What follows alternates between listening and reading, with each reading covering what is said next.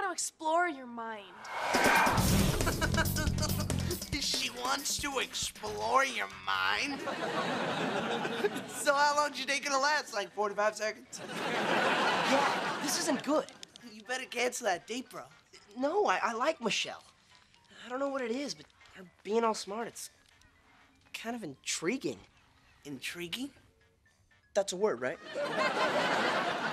Why are you so worried? Because she, she probably likes brainy guys, you know, the kind that actually do their homework and read books. So read a book. I don't have a year. Look, I just need you to help me learn enough stuff to impress Michelle on our date.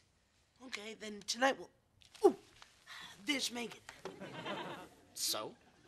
I figured out a way to get my revenge. You know the closet in the hall?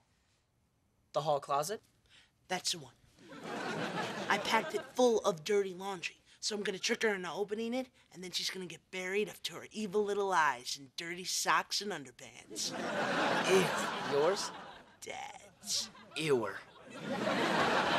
Come on. Hey, Megan. You know, I probably shouldn't tell you this, but Mom hid your birthday present in the hall closet. No way! I gotta go check it out.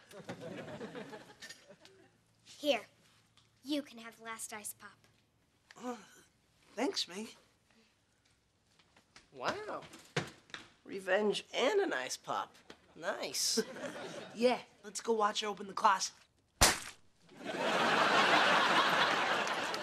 Yeah, like I'd ever give you the last ice pop.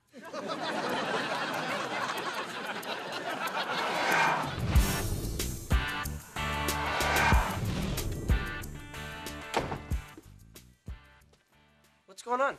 You said you wanted me to smart you up for your date with Michelle. Class is in session. Okay, teacher. Teach me things. Okay. Now, Michelle knows a lot of stuff, right? So I've listed five major subjects chemistry, math, history, English, and Latin. Where do you want to start? Hmm. I hate them all so much. We'll start with chemistry.